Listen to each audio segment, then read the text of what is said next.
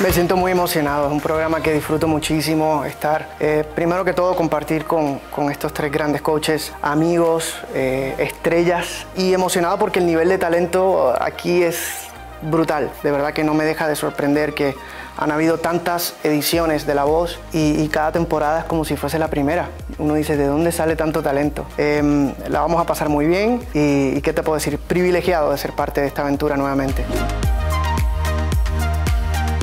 Pues mira, he aprendido eh, que mm, uno se tiene que dejar llevar. Uno trata de tener una especie de plan, pero eso siempre se va por la ventana, porque uno nunca sabe quién, quién te va a elegir.